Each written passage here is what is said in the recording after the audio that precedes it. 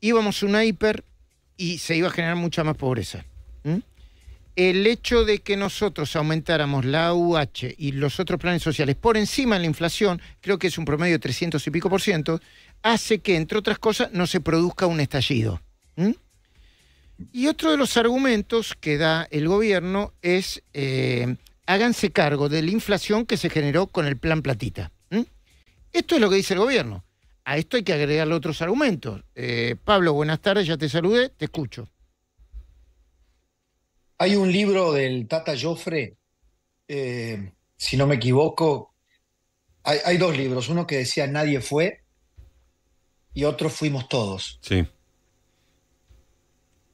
El juego, cuando salen los índices, es nadie fue, yo no, no me miren a mí, fue él, ellos. Y yo creo a esta altura, Luis, eh, que para una, a una reflexión eh, más seria, sobre todo de cara al futuro y de cara al prontuario que tiene la Argentina, fuimos todos. Eh, tratar de endosar la pobreza a una facción política determinada hoy es un juego de suma cero. No porque quiere evitar, evidentemente, que ha sido nuestra tarea en los últimos 20 años, 15 años, señalar al kirchnerismo como un fabricante de pobres, como una fábrica de pobres a conveniencia. El problema es que este, el kirchnerismo terminó en 2015, apareció Macri, y la experiencia de cuatro años de Juntos por el Cambio, radicales más pro, más coalición cívica, terminó naufragando. Con lo cual, después volvió el kirchnerismo recargado a un kirchnerismo de última instancia que además administró la pandemia y casi como si se tratara de una tormenta perfecta, la administración, eh, que ya sabemos cómo fue, de la cuarentena con razones políticas, además de sanitarias, terminó por extraernos hasta aquí. Entonces, es, es, muy curioso.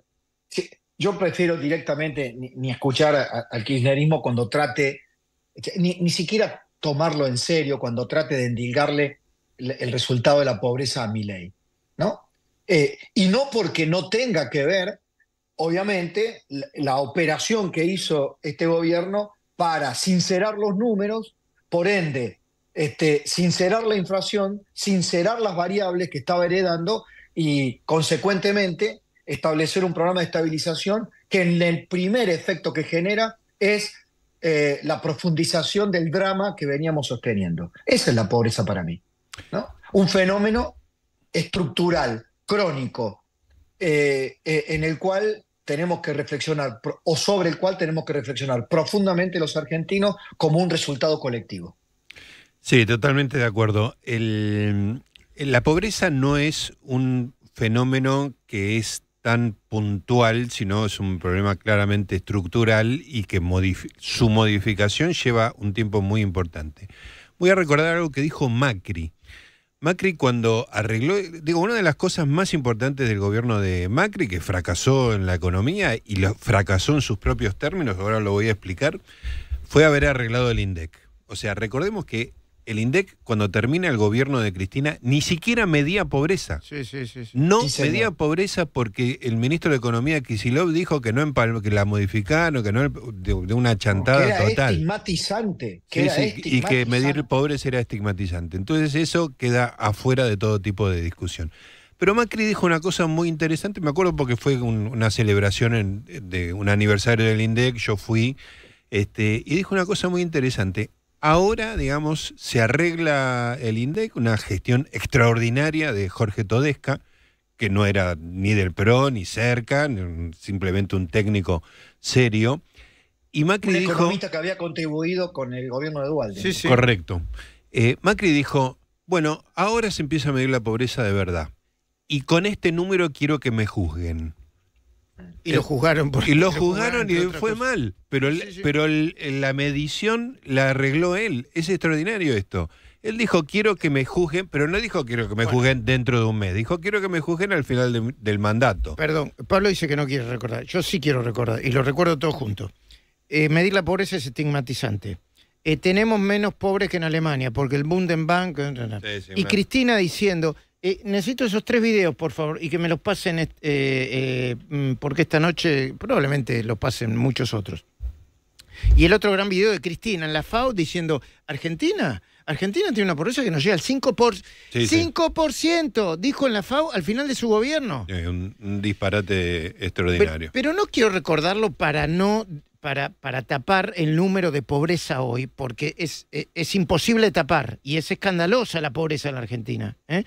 Yo recomendaría también parte del libro de Pañi, El Nudo, de Carlos Pañi, que plantea la idea de que ya se veía venir la pobreza, porque había muchos índices que índices que no tenían que ver Sí. estrictamente con el número de pobreza, que lo venían demostrando, ¿no? Sí, sí, sí, pues, La formación de villas miserias, Pero etcétera, además, etcétera. este, 40 y pico por ciento dejó el gobierno anterior. Pero, de todas maneras, lo que quiero decir, lo- con- son dos cosas lo de Macri. Una es haber arreglado el termómetro, digamos, ¿no? Y que ese tiene que ser el termómetro con que se mide.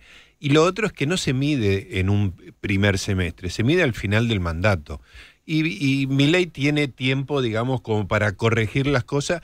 Quizás, como dice él, esta, este retroceso, digamos, en la- este aumento de la pobreza fue una condición necesaria como para después empezar a corregir. Los números pueden llegar a indicar eso, pero no podés hacer la evaluación ya, eh, después del primer semestre. Tenés que esperar una gestión económica que está en desarrollo y que se va a poner en prueba el año que viene legislativamente y dos años después en términos. Y va a haber un número que va a decir, arrancaron con tal número de pobreza y ahora entregan el gobierno con tal número. Ese número a Macri le dio mal. Vamos a ver cómo le da mi ley. Claro, le voy a agregar algo. Cuando digo que eh, fuimos todos, es porque el, el gran mérito, no, no de mi ley, sino de la sociedad argentina alguna vez, es que decida salir de la pobreza por sí misma. Salir de la pobreza no va a ser una virtud de un gobierno, no va a ser la alquimia, la magia de un gobierno. Tiene que ser, como terminó resultando la decisión de eh, dejar atrás todo y, lanzarse a la aventura de votar a, a- a un liberal libertario como Milley, tiene que ser una decisión de la sociedad. Porque a lo mejor supongamos que Milley tenga éxito, según la secuencia que está contando Gustavo, y si hoy la pobreza es de 55 y en el final del mandato, este, con, con un éxito económico la deje en 40, Milley, ¿dónde estaremos ubicados?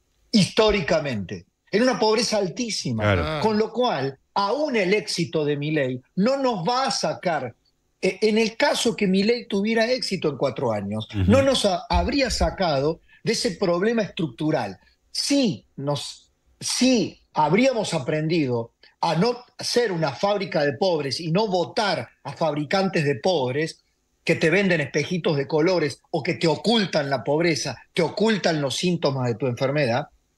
Y después de mi ley, podemos empalmar gobiernos que, entre otras cosas, per- permitan la transparencia de las estadísticas, que acepten los resultados de sus, y las consecuencias de sus políticas económicas, estén conectados con el Claro, mundo claro. y fundamentalmente, y fundamentalmente apuesten, porque este es el norte del gobierno, apuesten a que el sector privado prevalezca por el sector público, genere puestos genuinos de trabajo e incorpore a millones de personas a un trabajo digno. Es la única manera de salir o de comenzar a salir de la pobreza en serio. Hay dos tips eh, que, forman parte de la actualidad, eh, más allá del índice de la pobreza. Uno tiene que ver con aerolíneas. ¿eh? Una decisión judicial fue un revés para el gobierno porque no se decidió la justicia a declarar servicio esencial a, la, a la aeronavegación en la Argentina.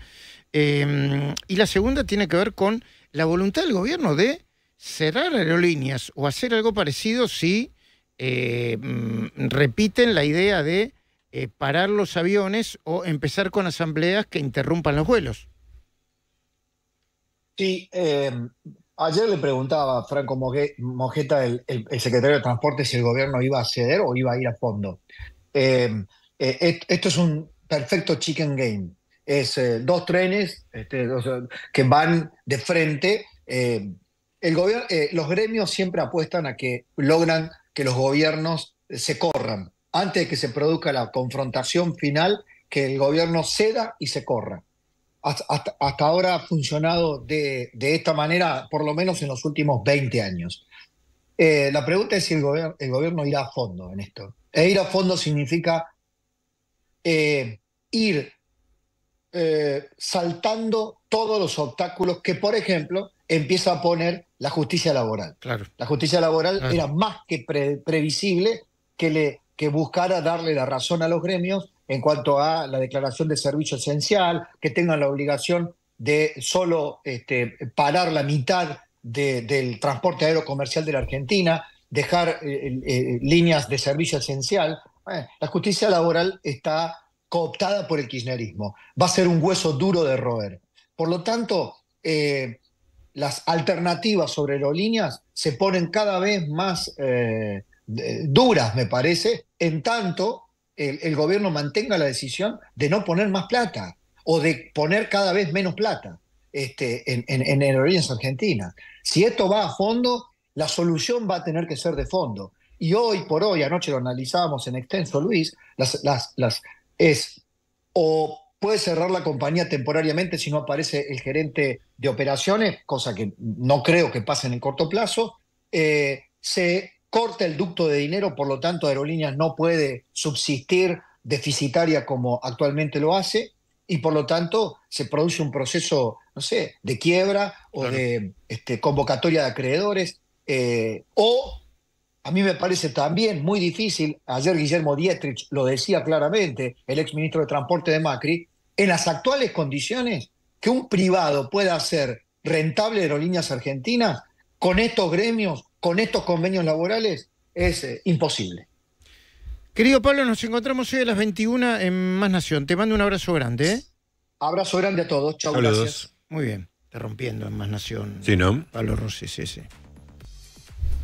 Nosotros, programa chiquitito, cuadradito. No te hagas el humilde. No, lo que nos sorprende es los super miércoles, porque metemos dos horas que nadie se vive. ¿eh?